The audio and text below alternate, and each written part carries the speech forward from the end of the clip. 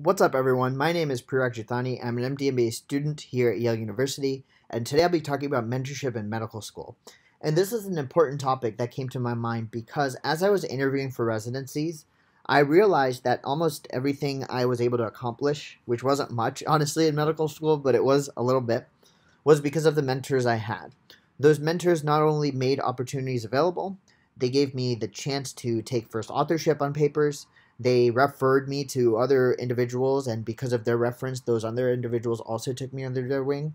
So, all that to say, mentorship is a critical part of medical school, but I think finding a good mentor is what half the battle is. And today I want to talk a bit about, you know, the ways I was able to get lucky, maybe, or the things that I've learned through my mentorship search. And hopefully, this helps you as well.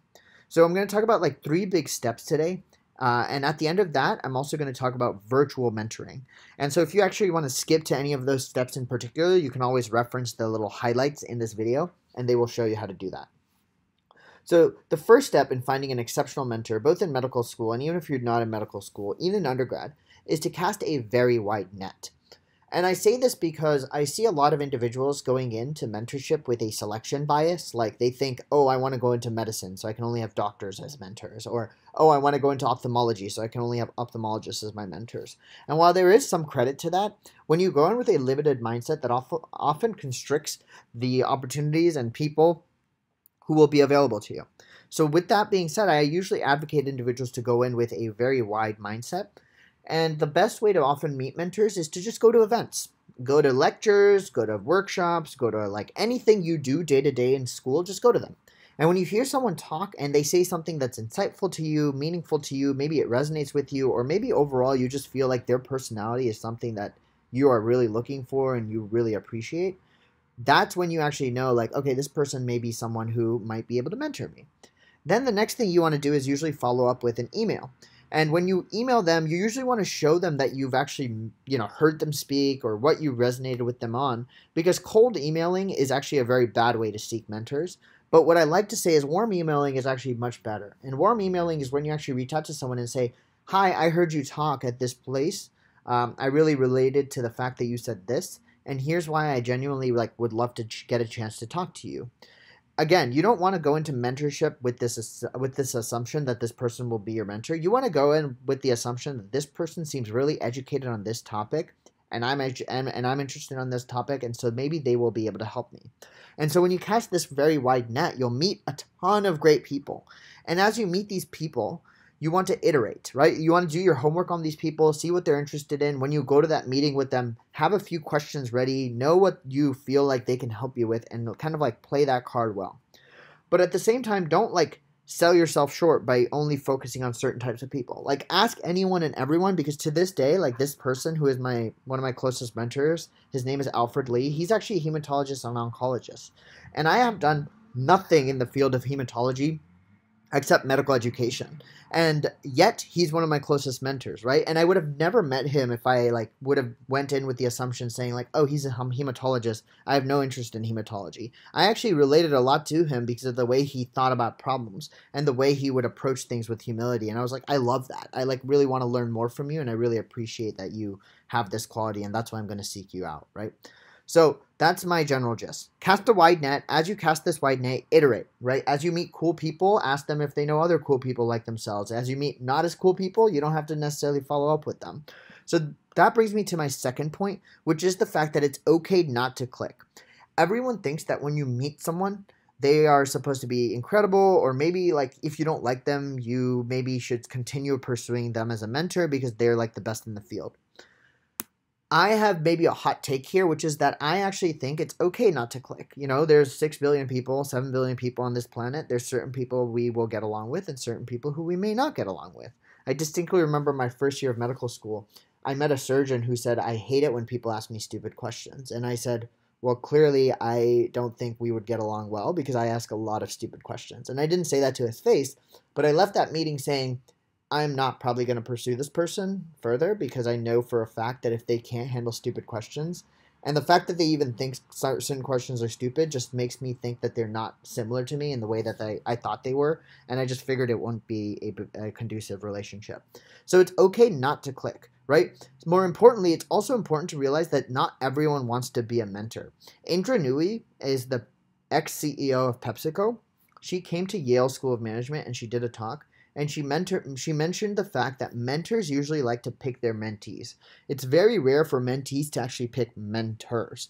The best mentorships happen when the mentor is able to take a vested interest in you, and when that happens, that's when you know you have a really good mentor. And so the way to really determine if someone is interested in being a mentor and whether they'd be a good one is to see if they actually feel vested in you. And the best way to do that is to give them a bit of ammunition. Show them how you are similar to them. Show them why you care about them. Show them why they should care about you. And in the process, as you build this relationship, see if they respond to your emails. See if they like support you in your triumphs and are there for you in your failures. See if they're there for you when life goes awry. There's different types of mentors as well. You can have professional mentors who you talk with only about, you know, I'm going to be a hematologist. Help me become a hematologist. There's personal life mentors who you talk about when life goes awry. And for me, Alfred Lee is kind of like a life mentor who I talk to about a lot of issues in my personal life and professional life. Um, and then there can be mentors in, you know, work life, right? Like whatever job you're doing.